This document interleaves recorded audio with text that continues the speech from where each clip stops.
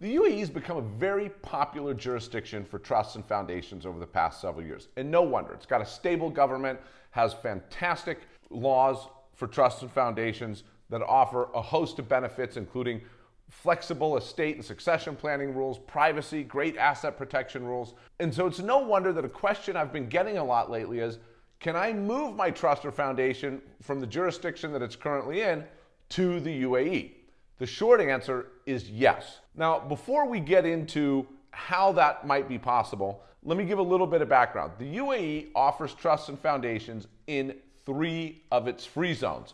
So, foundations are available in the Abu Dhabi Global Markets Free Zone, ADGM for short, in the DIFC, which is the Dubai International Financial Center, and in the Ras Al Khaimah International Corporate Center, or RAK ICC for short.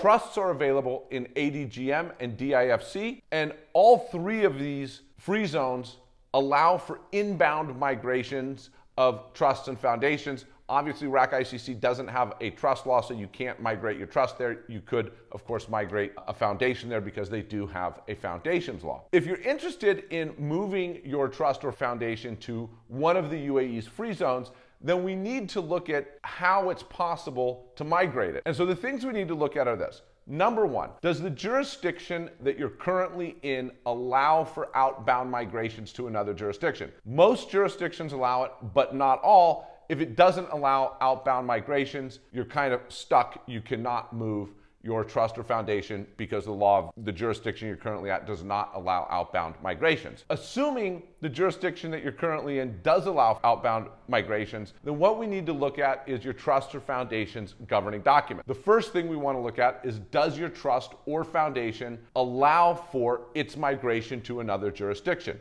If it does, great you're ready to start the migration process. If it doesn't, can your trust or foundation's governing documents be amended to allow for outbound migrations? If so, great.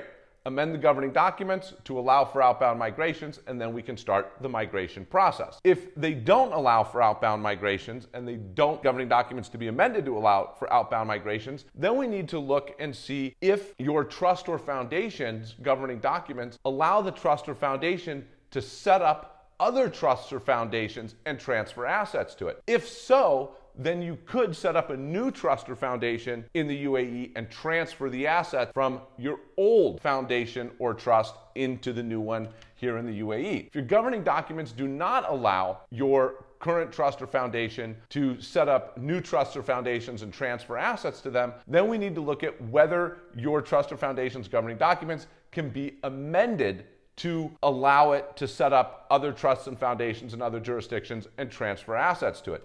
If so, then we'd want to amend the governing documents to allow for your trust or foundation to set up other trusts and foundations in other jurisdictions and transfer assets to them. And then we can go ahead and execute that plan, transfer all the assets, and shut down the old trust or foundation. If you like our content, please don't forget to subscribe to our YouTube channel by clicking that subscribe button. We'd really appreciate it. And for more strategic tips on international tax and wealth planning, subscribe to our email list and follow me on LinkedIn.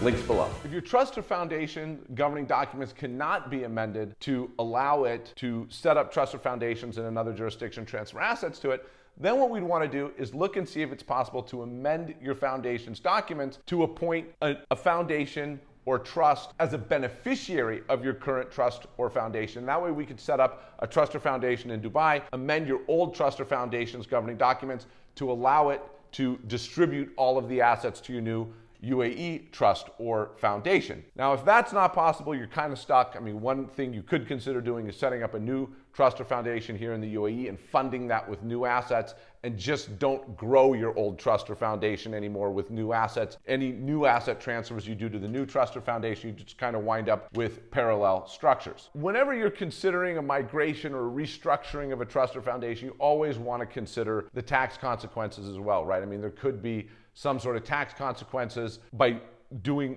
a migration to another jurisdiction or transferring the assets to the other jurisdiction. So you'd want to explore those to see what the tax consequences are and then make sure you can live with those tax consequences before engaging in any type of restructuring of a trust or foundation, moving assets of the foundation or trust itself to another jurisdiction. Now, one of the big benefits of migration is that it's a continuation of the same trust or foundation, right? It's not if you close one foundation, or trust and open up a new one, it's a whole new entity, which means new bank accounts, new contract, insurance if you have insurance. Whereas if you migrate, because it's a continuation of the same trust or foundation, everything can stay the same. Your bank accounts, your contract, insurance, all that stuff stays the same. That is the big benefit of being able to migrate, right? Everything stays the same. The way assets are titled, all that stuff stays the same, which is a big benefit. But migration is a paperwork intensive endeavor it takes a lot of time and a lot of work, which means it's often more costly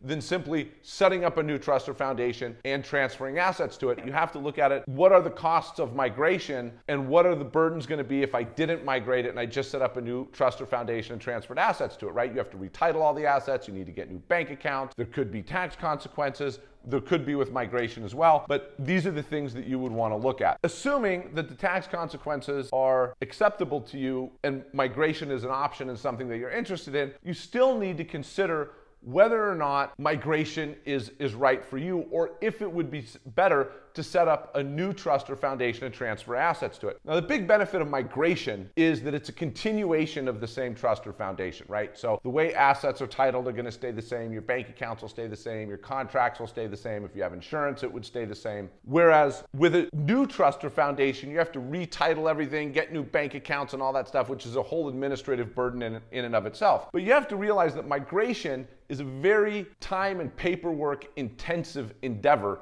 which means it's generally more costly than simply setting up a new trust or foundation. So you really kind of have to weigh the benefits, right? Benefit of the migration is everything stays the same, the way assets are titled, etc., but it is generally more costly. For example, is it more beneficial to have the higher cost of migration but avoid the administrative burden of retitling everything, for example? So that's something that you have to weigh out. If you're interested in migrating your foundation to the UAE or potentially setting up a foundation here in the UAE, give us a call. This is something that we've done extensively. We can help you analyze the situation determine what the administrative burdens are, the costs, whether or not it's even possible to migrate, and then help you come up with a plan to migrate it help you execute the migration itself. And if you want to learn more about trusts and foundations in general, download our Trusts and Foundations guide. I'll put the link down in the description.